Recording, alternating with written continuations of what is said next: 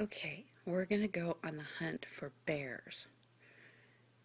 So, yesterday it was 80 degrees in the house. We turned the air conditioner on.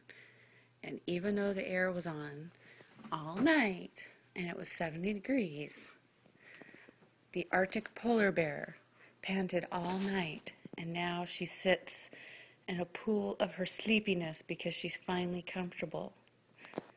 Let me turn the light on so you can see her. There she is. It's amazing how a big bear can curl up into such a little, little ball. Are you sleepy?